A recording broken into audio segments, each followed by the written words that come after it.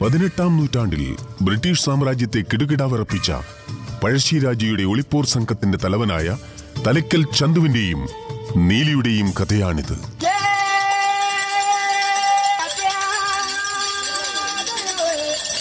വണക്കം ഞങ്ങളെ തിരക്കി നിറഞ്ഞു ആ ഇനി ചന്തുവും നീലിയും കമ്പനിക്കെതിരെ പൊരുതാൻ പഴശ്ശിത്തമ്പ്രാന് തുണയായി ഉണ്ടാവണം.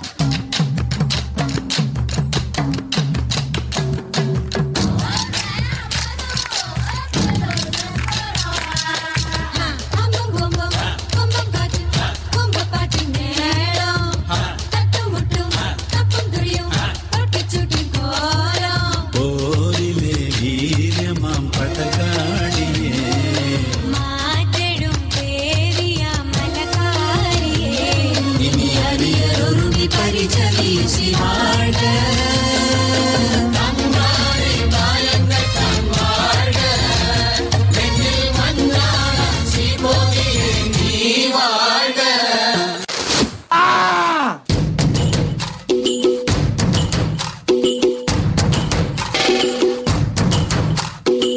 ആരാന്നേ ആരാന്നേ ഒത്തുപിടിക്കുന്നത് ആരാന്നേ തീയാടാൻ തിറയാടാൻ മാണിക്ക കവി തുറഞ്ഞാടാൻ ഓനാന്ന് പിടിക്കണ എത്തുപിടിക്കണതോനാന്ന് നേരാന്നേ നേരാന്നേ കൂട്ടിന് വന്നതവനാന്നേ.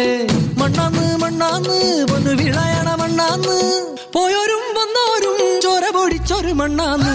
അതിരെല്ലാം കെട്ടണ് കെട്ടണ്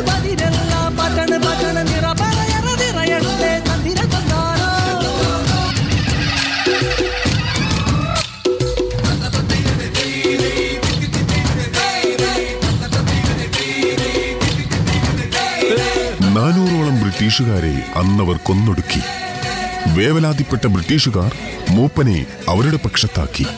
പൂജിക്കാൻ എന്ന വ്യാജേന മൂപ്പൻ ചന്തുവിന്റെ ആയുധം വാങ്ങുന്നു. പഴക്കിളക്കി തളക്കിളക്കി കിളിയാട്ടില്ലേ? ഞങ്ങൾ കതിർ മണി നീട്ടാൻ കാവൽ നിന്നില്ലേ കുമിര കുമിര കുടി കൊട്ടിന തകിട തകിട തകതിത്തന തറ തറ തറ തറ ഇളക്കി തലയിളക്കി മുടിയാട്ടി ഉയിരിനുയിരെ പാടൂ നമ്മളെ നല്ല.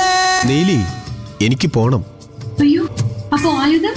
കമ്പനിക്കെതിരെ പൊരുതാൻ എനിക്ക് ആയുധം വേണ്ട നീലി. കതിരെല്ലാം കെട്ടണ് കെട്ടണ് പതിരെല്ലാം പറ്റണ് പറ്റണ് നിറമലയണ നിറയട്ടെ തന്തിര തന്താന